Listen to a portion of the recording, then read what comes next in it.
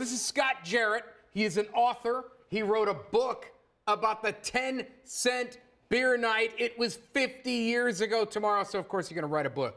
Uh, Scott, you are a Tiffin native, Yes. now living in Texas, so you grew up an Indians fan. Why'd you write a book on this?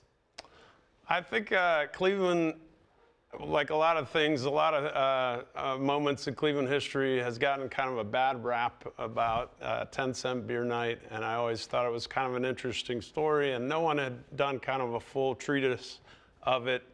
And uh, I think um, the more I looked into it, it seemed like there are a lot of rabbit holes to go down Okay. in the story.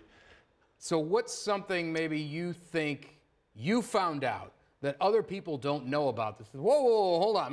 Let's not blast the club so much here. Yeah, I think uh, one thing right away was was just that a lot of teams were having 10 cent beer nights, a lot of crazy promotions in the early 70s, and it uh, was part of the Indians actually had 37 promotional events planned for 1974.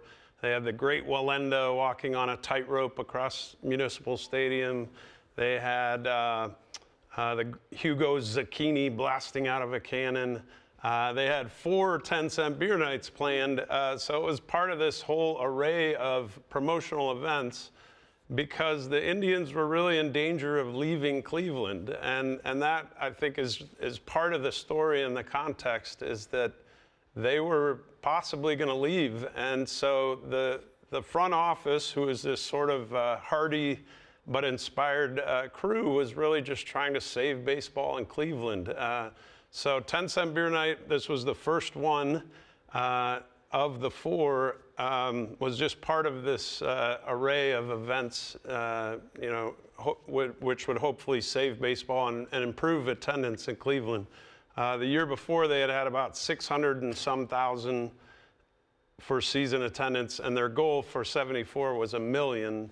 Uh, and unfortunately, it just kind of all went wrong, though, on Uh-huh. June 4th, 1974. Well, they did it like a month later, and they limited That's it to two beers. Yeah. And other clubs, I guess, did other Yeah. clubs limit it to two beers? It was like it, Yeah. they just needed this one tweak. That's right. And it was before they tweaked it That's that right. everyone just got drunk and blitz the game. Yeah. A lot of this stuff, my understanding is, it's the people running on the field, stuff like that. Started out as kind of good-natured and funny, Yes. and then it was later in the game. Yeah. All of a sudden, things got real bad, right? Yeah, and I think that there was a sense that there was just sort of uh, growing confidence by the people running on the field.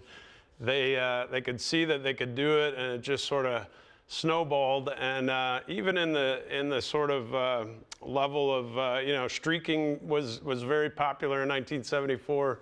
Uh, so first you had you know someone a woman who flashed her breasts, but then eventually you had someone who was streaking completely naked, and Yeah. the most famous was uh, a guy who left uh, one sock on, and uh, uh, so that one. Yeah. So the Indians were trailing five to one, and they nearly came back and won it in the ninth. yes, Had they just gone three and out in the ninth, they might have actually completed this game, right? absolutely, yeah. I mean, it may have no interest whatsoever, but they tied the game, and the fans were at a you know were going nuts.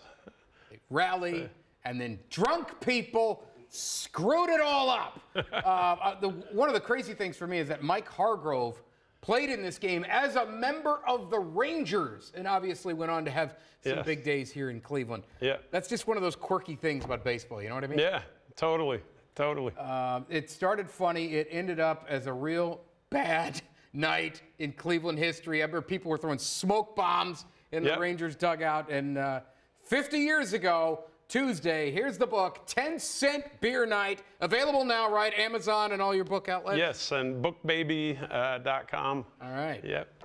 It is I, I, raise your stein and get in line. Scott Jarrett, thanks for coming by, man. Thank you. I really appreciate it. it.